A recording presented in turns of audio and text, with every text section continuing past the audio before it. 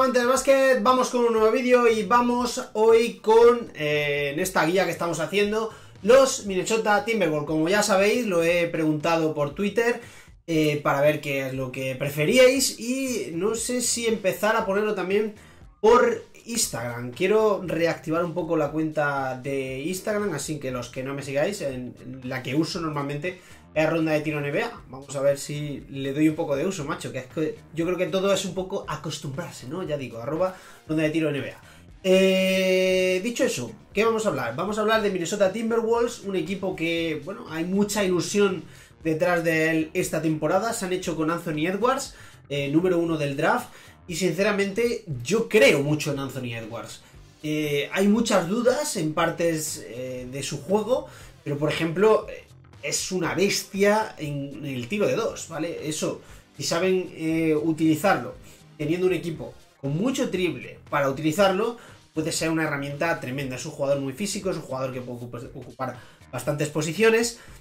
Y bueno, hay malas lenguas que dicen que no puede jugar de alero. Yo aquí estoy para desmentirlas puede jugar perfectamente de alero y de hecho viendo la configuración de plantilla que a día de hoy tiene Minnesota, dudo que no sea la posición más utilizada esta temporada por parte del coach de los Wolves.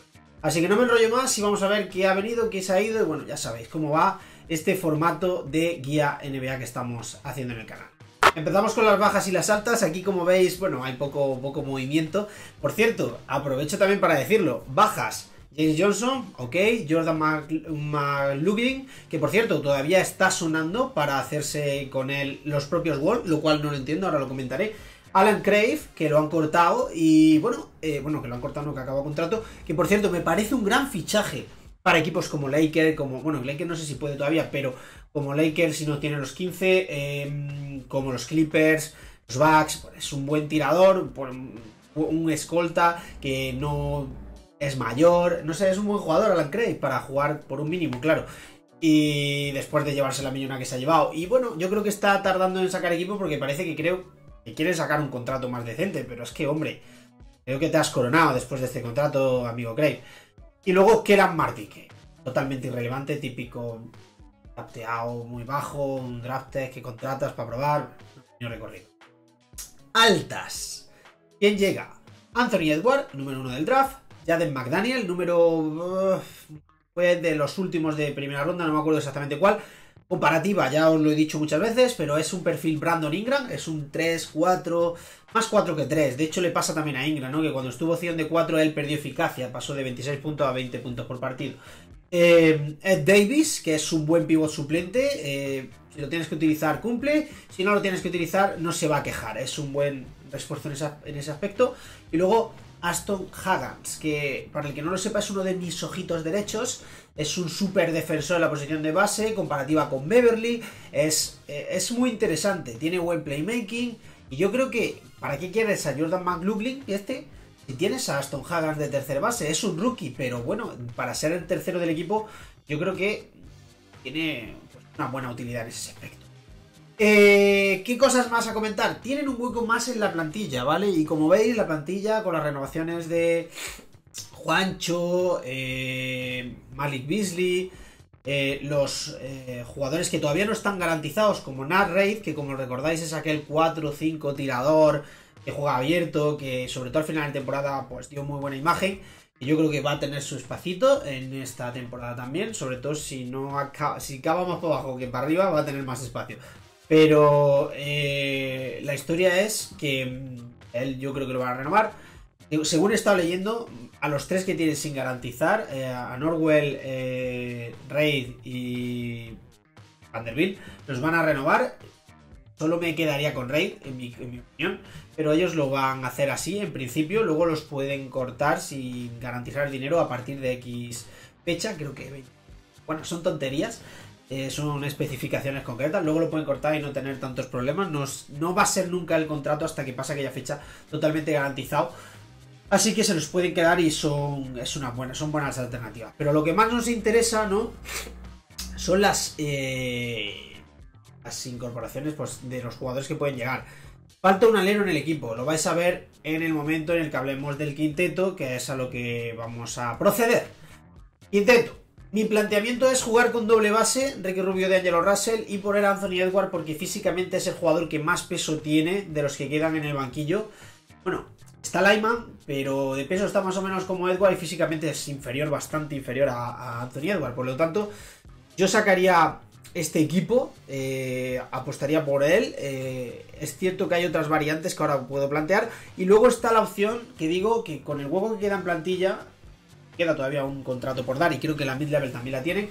Por lo tanto, podrían tener a un jugador por cierta pasta. Es verdad que no hay ninguno que vaya a haber que darle más que un mínimo, pero por ejemplo está Ivan Turner, que sería interesante, de hecho es el que más está sonando para los Wolves.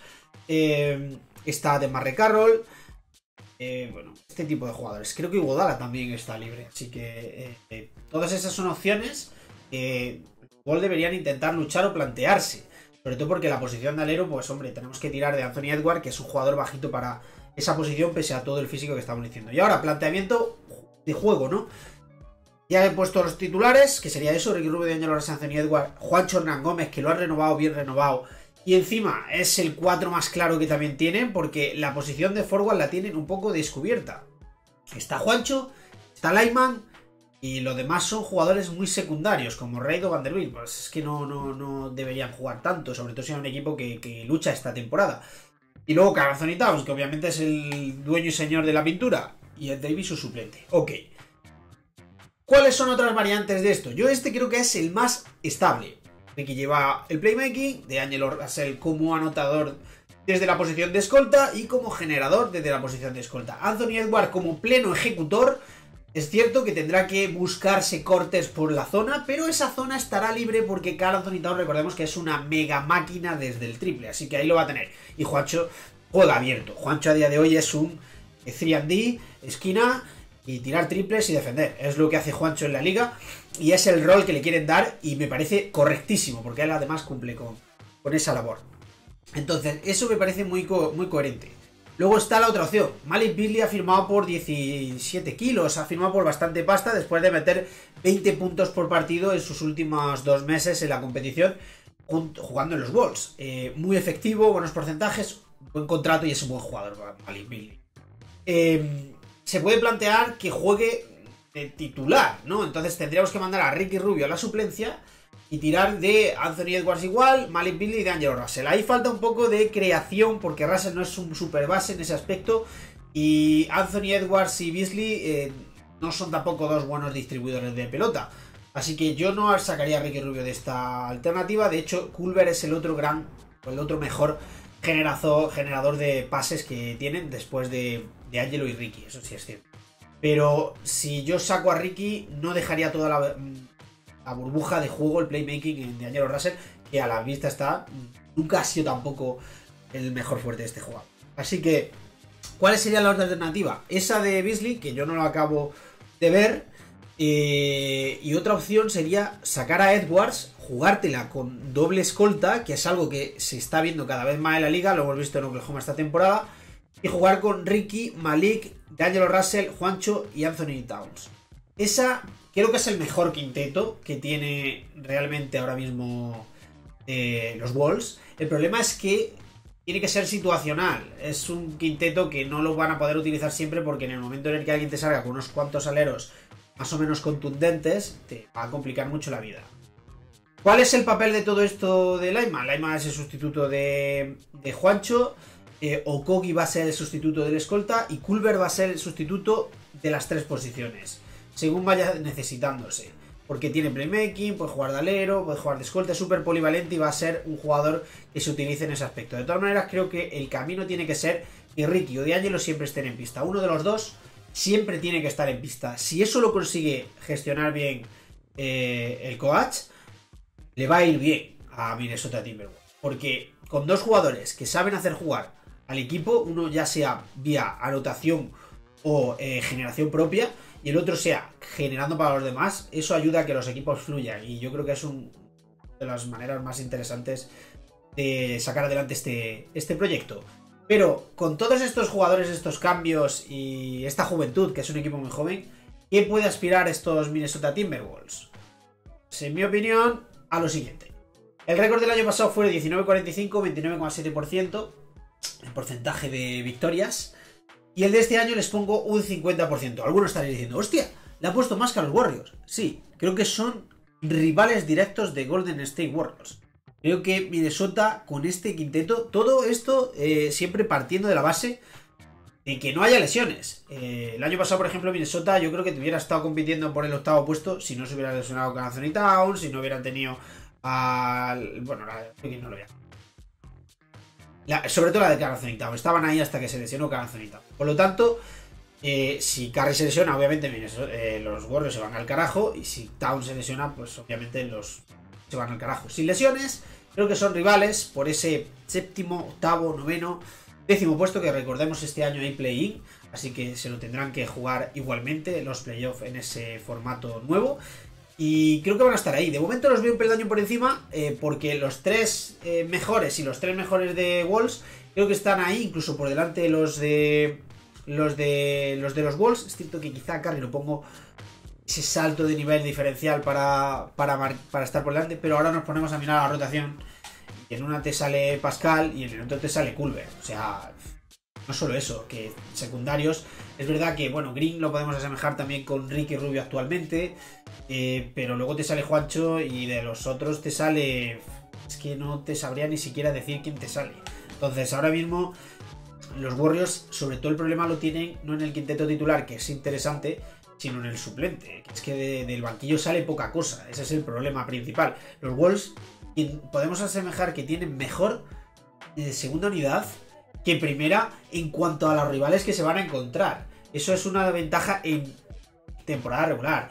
En el play-in, hombre, si tengo que apostar por alguien en el play-in, apuesto por Curry. Eso no tengo ningún tipo de duda. Pero esa es mi posición ahora mismo y ya veremos cómo acaba de cerrarse toda la NBA. Porque habrá otros rivales, ¿eh? no van a estar solos. Warriors, Wolves y algún otro se van a pegar mucha caña esta temporada. Por esas zonas de últimos puestos de playoff el oeste van a estar ardientes. Se van a pegar muchísimo y muy duro.